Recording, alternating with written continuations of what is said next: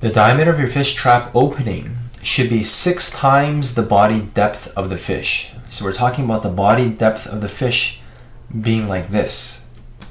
So look at this picture here. When you're talking about these uh, fish depths or fish heads, one, two, three, four, five, six fish depths would fit into the diameter of this circle. The length of the fish trap, this here is the fish trap, should be four times the length of the fish. We're talking about sideways, this fish length, four times. So you can see here that four lengths of the fish can go across sideways.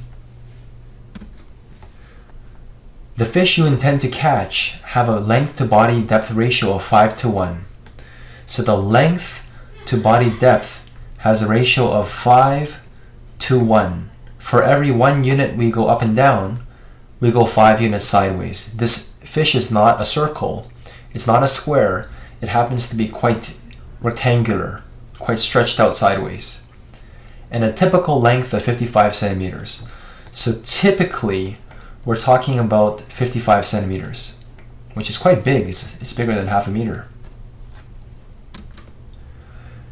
Determine the diameter of the fish trap opening. That's the question. And the length needed. So we're trying to determine the actual diameter and the actual length of the fish trap.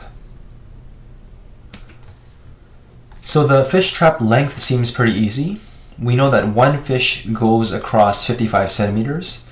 And so what we have is 55 here, we have another fish here, we have another fish here, and another fish here. We just simply take 55 times 4. So 55 times 4 is 220 centimeters going sideways. Quite a long trap. Now looking at this original fish diagram, we know the ratio is 5 to 1 so if the length here is 55 centimeters, the depth is going to be 5 times less. So 55 divided by 5 will be 11. So 11 centimeters going up and down is a normal fish. So we have 11 here, another 11, another 11, another 11, another 11. We have six of these. 11 times 6 is going to be 66.